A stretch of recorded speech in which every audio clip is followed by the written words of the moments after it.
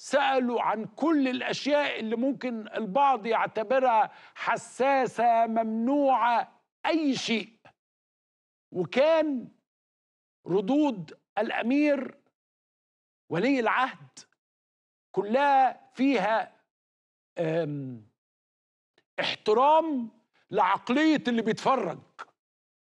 يعني في بعض الأحيان يقول له إحنا فعلا ده محمد بن سلمان اللي بيقول إحنا فعلا عندنا مشكلة في القوانين دي ولازم نغيرها. إحنا كان عندنا آه، وضع والناس اللي غلطت في هذا الأمر كلهم اتحاكموا. وراح قايل له زي ما كان عندكم مشكلة في موضوع العراق وحاكمتوا الناس.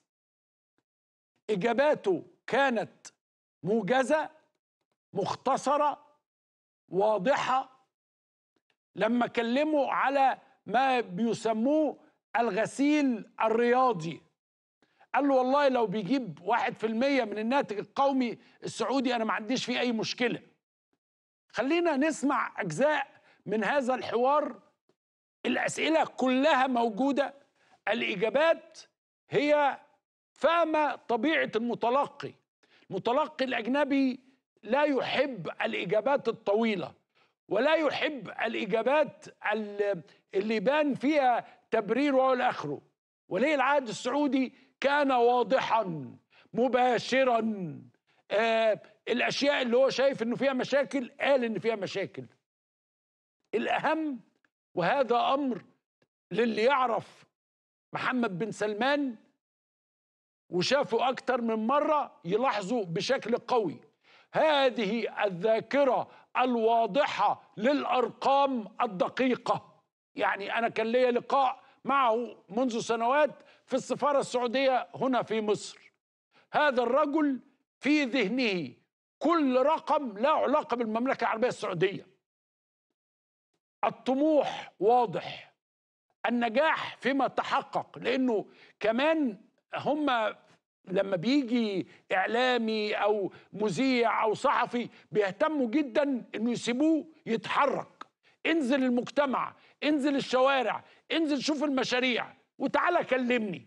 يعني أنا مش جايبك هحطك في فندق فاخر كام يوم لا انزل وشوف التغير اللي في المجتمع. هو الراجل قال. ال-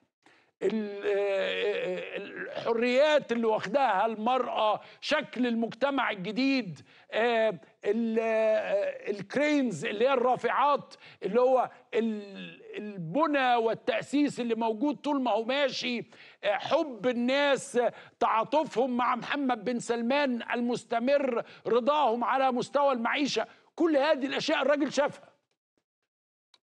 والأمريكان مش يعني فوكس كمان بالتحديد قناة لها أنياب وأظافر. يعني ال- الصحفيين اللي في فوكس أو أو أو. أنا عجبني جدا لما حاول إن هو يورط محمد بن سلمان ولي العهد في تصريحات عن بايدن. الرجل هو رجل دولة من العيار الثقيل يعرف ما يقول وإجاباته مركزة وواضحة. خلينا نشوف أجزاء من هذا اللقاء اللي كان له تاثير كبير على تغيير عقليه الامريكان و- والغرب عن المملكه العربيه السعوديه خلينا نشوف You talk with him behind the scenes. In the U.S. right now, there's a lot of focus, even from his own party, about his age. He's 80, you're 38, as I mentioned. You've worked with him, you've met with him. What's your assessment? He's sharp and he focused. Uh, he's really well focused, well prepared, and So th- good. that's what I see. Yeah. Are you following American politics closely? Do you? Uh, sometime, but uh, I don't have a lot of time. most of it, I, I try to follow what's really affecting Saudi Arabia, but I follow uh, sometime American politics. The other question I wanted to ask you is you're a sports fan. Yes, definitely.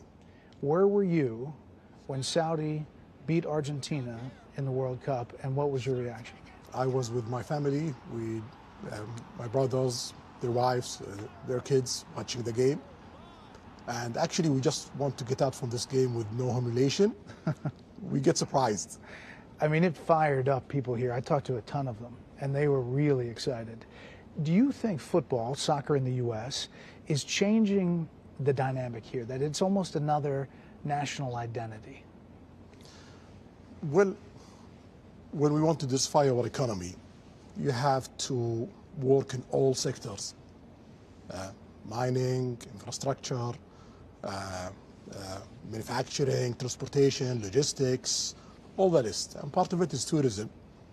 And if you want to have tourism, you need to develop your uh, culture sector, your entertainment sector, and your sports sectors because you need to create a calendar. And we can see uh, tourism used to participate in Saudi Arabia GDP by 3%. Today it's 7%.